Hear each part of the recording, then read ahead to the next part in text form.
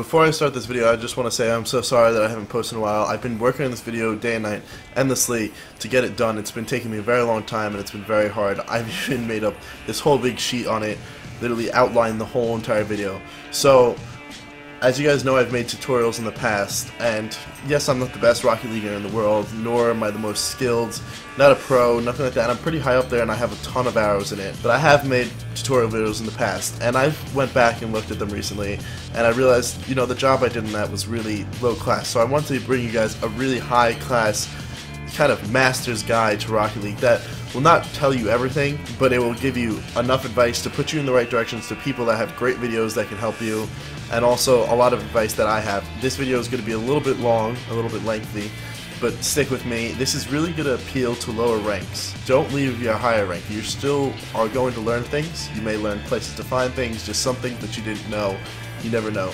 So for those prospects out there, you know, they may get three checks. Challenger Elite and all those challengers, you know, they may get two checks off this video. Uh, from Rising Star all the way to Superstar, you know, you guys may get one. And if I get any of you guys from Champion above to learn anything, let me know in the comments because I'd love to know that.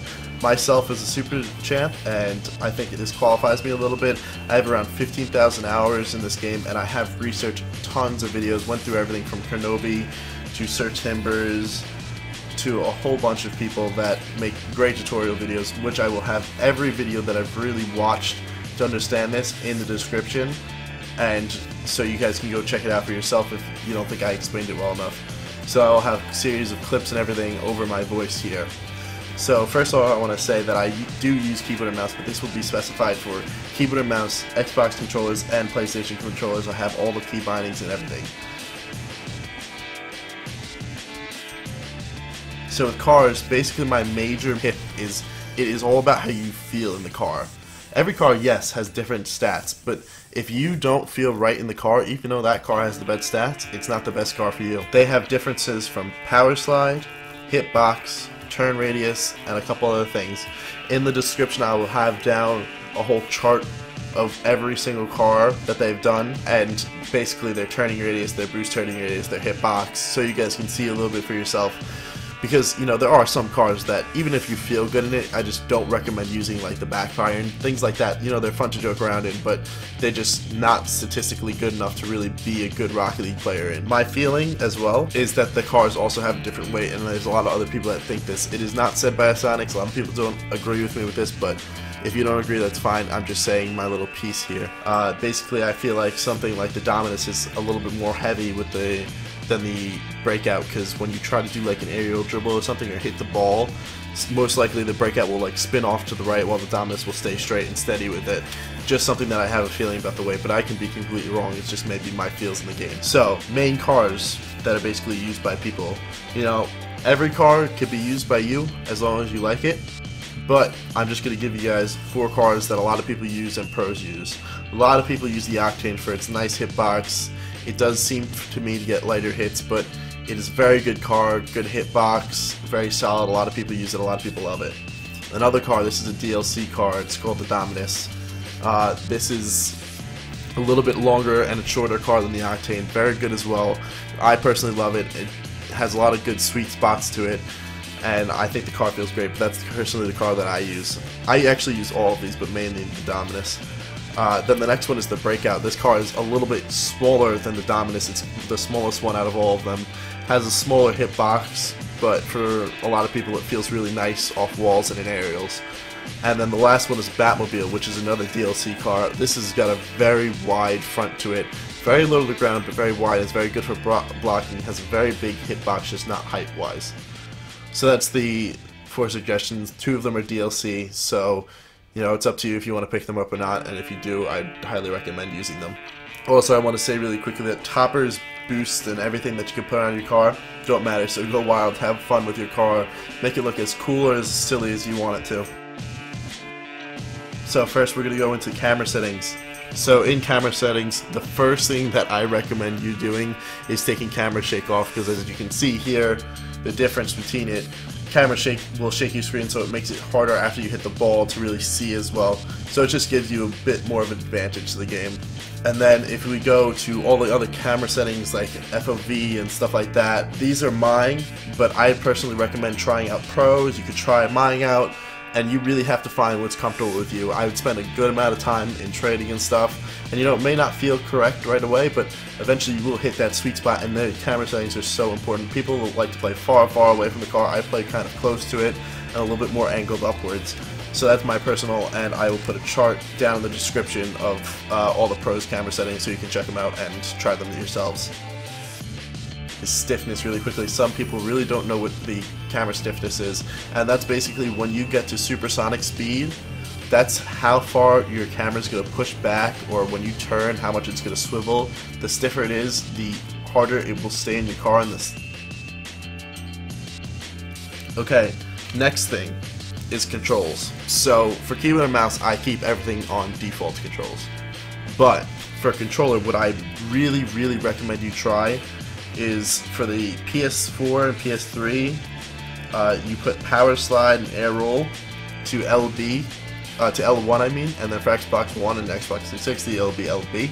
And then you could also try out putting boost to X or square. X would be for Xbox and square would be for PS4. So you might want to try that out. I think it's a lot easier to hit jump from having it there, or you can even try putting boost on X and jump on square or for Xbox it would be A and jump on X. It's a little confusing having to do the conversions. I'm sorry about that. Most of the pros, though, as I might want to say, use PS4 controllers. Now, this is really because they played supersonic, acrobatic, rocket-powered battle cars. Wow, I can't believe I got that right. Um, and back then, that was all you can use. It was for PS3. I played it shortly, uh, but when I picked it up, everyone was just really good at the game. Also, we'll scroll down this list here, and I'll show you my controls. Okay, next thing we're going into is video settings. Now, with the video settings here, some people may not know what VSync is, so what I'll tell you basically if you boost on it will get you give you less chance to have screen tearing and if you don't know what screen tearing is I'm showing you a clip right now so you guys can see. It just little tears in the screen. But if you do put VSync on it does give you a chance of having more of an input delay. So it's really up to you if your computer can handle it or not. And if not I wouldn't recommend keeping it on. The screen tears sometimes they're really not too bad on Rocket League but if you're really starting to notice them, that's how you fix them. Next thing is you want to take off motion blur and weather effects. This gives you a pretty big advantage. You can turn off the rain on maps and the blurriness on your car, which makes you be able to see the ball clear, see downfield clear. It just gives you a much better advantage at the game, so I would highly recommend taking those off. Unless you like the cinematic view, then for all means you can keep them on. That's just my recommendation. This is another thing in the video settings that are very important. You have to be playing at least 60 FPS. The best thing you could do is be playing at 144 FPS and that gives you such a major advantage over other players. The frames per second is a really key factor. Now, I'm sorry on Xbox and PS4, you guys don't really have much of an option here, but on PC, you know, getting yourself a $200 uh, 144 hertz monitor will give you a big advantage in Rocket League, and you guys will really be able to see the difference. And then the last thing, the settings, what we have to say is the chat. Go wild with the chat, do whatever you want. It's all keen to your play style. I just like to have the Savage key enabled, and that's pretty much it. Sometimes when I'm having a bad night, I'll put the OK on, but besides from that, it's really up to you guys what you want to put on. Training is essential to new players. It's also essential to old players, because if you're not doing it in between games, you should be leaving your game and going to training. Whatever you want to work on. If you want to work on aerials, go into all-star aerial training, because you should be able to do it if you're an advanced player. If you just want to work on dribbling and slight other things like that, just go into free play. And free play is just, in my opinion, the best way to go in between games. You could mess around, do whatever you want, wall hits, dribbling, anything. You could set yourself up, you know, work on centerings, whatever you're not really doing so well that night, you'd be working on in free play in between games it may just give you that little edge to win the next game. You never know. But for lower players, what you want to try to do is get an 8 or higher on striker and goalie all-star training. And then basically you want to get a 5 or higher on aerial training. I'm just saying this because aerial's a little harder. You really want to get a 10 on everything would be great and you'll be really ready to go out there and, and ranked and see that you'll have such a bigger advantage of people at that lower ranks. And then also another recommendation that I'd say doing is if you can't do it at all star, try at a pro level, doing the whole pro level backwards. And you know what, try to get around a 5 on it would be really great, and that will just help you with your... So being able to fly backwards will give you more position to get the shots in more of a corner and something, sometimes even give you more power on your shots. So next thing we're talking about is defense. Defense has to be one of the most important things in the game. Without defense, you, are really hard to win the game unless your offense is incredible. But you really need that defense because you know if you don't let them score a single goal, how are you going to lose the game? All you need to do is roll one in, and that's it. You know what I mean? And as if you've been outside, done anything, watched movies, every coach that you hear will say defense is the key to victory, and that's true. But a main thing to defense in Rocket League is rotations. If you don't rotate well, it's going to be hard to get back to be playing defense. And also just rotations on defense.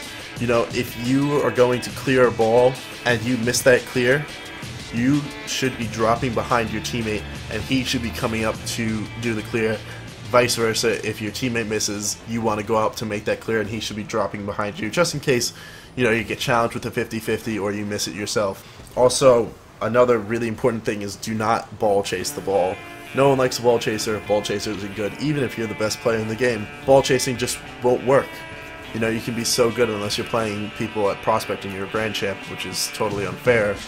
Ball chasing, you, you need a teammate when there's other teams when there's other opponents to the game. And that also, with ball chasing, it leaves you out of your rotations, so that makes your defense weaker as well. So another big part to defense is seeing how your opponent plays. Reading your opponents, I would say try to do it in the first 30 seconds of the game, and even you can give yourself a minute, because reading them could really depend on how you play that whole entire game and play that game of defense. You know, some people are more of a long shots, which you'd have to play a little bit less aggressive then, because if you give them the opportunity to get a long shot on and you're up too far, you know you're not going to get it. Then there's dribblers who people just like to take control of the ball and keep the ball close to them and try to dribble the ball on you, which it could be very hard to approach, but a good way to keep a dribbler at bay is take the high ground and take the ball from them before they can flick it over you. And then the other thing that is a little bit more advanced players, I would say, to this is the passers. And this can be really advanced or it could be not as advanced. You know, some people you can pass it by taking up the wall and just passing it over net, which is a little bit easier to stop. And then some people will be right next to each other in front of you, and one will pass it to the guy on the right, and the guy on the right will shoot. It's a little bit harder to stop. That, which I'd recommend doing, is waiting for their pass, and once they start that pass, try to intercept the pass before it hits the other player. Also, if you can see where that other player is and see where they're shooting, just being able to stick it out in goal and be able to hit the ball away if you're in a very good position is another good way to do it. Another thing that I forgot to say for dribbling is if you, there are two people back, you want to send one person out to pressure the dribbler and make sure if he makes the dribbler flick the ball, then you want to come up right away and while he's in that flick and a little bit disoriented from trying to get it around from your teammate, hit it away as well. Another major, major thing about defense is not going for boost instead of the ball. I've seen so many people do this, even at the level that I'm at and it's just frustrating and it's really not worth it. There are the little boosts on the ground, you know, try to make your dropping path and just your path in general in Rocket League to go over those little boosts to get yourself to have at least a little bit because I'm saying you can get any save from top to bottom of the goal with 12 boosts and 15 would be even better. But with that and knowing the proper jumping and boosting, you'll be able to get anything. By collecting two boost little boost pads, you'll be having 24 boosts, which gives you plenty of boost to hit the ball and clear it away. Then, on clearing, after you made that great save that you just did, which there's a couple different ways of clearing it. It depends on the your opponent's position. So this is where you have to keep kind of aware of what your opponents just did. So if both are up from trying to do a big play, you know, had a big pass play and you just cleared it away from them, and they're both out of position, something that you might want to do is get a big clear or chuck the ball towards the goal. If they're really out of position, that should be an easy goal to roll right in and easy for you guys. But if there's someone in midfield, you might want to try dribbling the ball a little bit. And by doing that is just a simple dribble. Or you can take the ball up the wall and hit it off the wall and clear it. But also the last one is if there's one person up on you and one person in the middle a major thing that you can do is you can try to pass it to your teammate, which is a little bit more of an advanced move, and your teammate has to be looking. But if you hit it to him, and then you get it past that person that's up on front of you, and then he can chuck it past the guy that's in midfield, or he can dribble it past the guy in the midfield, and then you're breaking through their little mid-line defense, and that means they were kind of overstanding themselves a little bit, so it should lead up to an easy goal on your part. And then the last thing with clearing is if you're both in goal and this is really communications wise for this you'd really have to be on some sort of voice chat. But besides from that if you have two guys in goal and one guy has more boost and the other one has none what you want to do is the person with no boost goes out and pressures and he takes that ball and he will bring it to the left or right corner take that big boost take it up wall and clear it that way. And that's a very very effective way of clearing the ball. Next thing I'd like to talk about is the 1v1 defending so this applies to just ones or if your teammates have been beaten and it's just you and another guy. So there's a couple ways that people do this. Is the dribbler, which is someone that will keep the ball close to their car. And there's a couple ways of dribbling which I'll go over later in the video. And this is, I'll tell you how to do them and I'll tell you what they are. So those are what you want to look out for dribblers in game and this is someone that really just keeps the ball close to their car and will try to flip it around you when you get close. So these people can be very, very good at it, and if they're very well practiced, it can be hard to beat. But a main tip is just take the high ground. If you can be higher on them, most likely they're trying to flick it up. So if you're above the ball already, you'll be able to stop their ball pretty easily. But you can't go too high because if you go too high, sometimes people are well versed enough where they'll keep it low and you'll they'll go right underneath you. And then from a dribbler, if they're experienced enough player, you'll get a faker too. This is someone that will, if they get enough 1v1 opportunities on you and has dribbled you and you know you stopped it a couple times and they've kept on doing the same thing, sometimes they just won't hit the ball and won't flick it. And that's why I said don't go too high because if they do that, then you'll be flying right over the ball and be missing that ball like no, and you're gonna fly right over the ball and miss it. And then last but not least, we have the shooter, and this is someone that's just gonna plainly chip the ball. Sometimes it depends on their skill level. They'll chip it in corners and they'll chip it on the top post. But this is generally the simplest one to block. If you're back in goal, you can get up and hit it away, even if it's in the toughest corner. Sometimes these are hard to block, but most of the time you'll be able to get them pretty easily. Guys, I just wanted to say really quickly that I decided to split the video up into two different episodes because I was trying to edit it down to make it into one, but I realized that it was too long, it was about 35 minutes, so I decided to cut it down to two. So we're going to be ending the first one here, the second one should be coming out very shortly. As I said, it takes a lot of editing to get these done, there's a lot of work put into it, but it, I'm trying to push it out as quick as I can, and I hope you guys enjoyed this one, and this really got to, you know, half of the stuff, but some of the more advanced stuff will be coming on in the next one and we'll have offense, uh, wall riding, aerials, and stuff like that in the next episode. So stay tuned for the next one. It should be coming out very shortly. Leave a like and subscribe. It helps out a lot, and I will see you guys in the next one.